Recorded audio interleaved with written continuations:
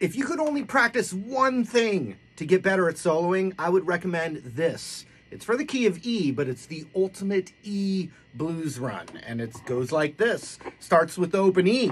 Oh, three, five, slide to seven. Then on the A string, five, seven, D string, five, seven, slide to nine. And then on the G, seven, nine. Then you switch to the B to eight, ten. And then slide that up to 12. Finally 10, 12, and you're back at the E on the double dots, and you could transition into your.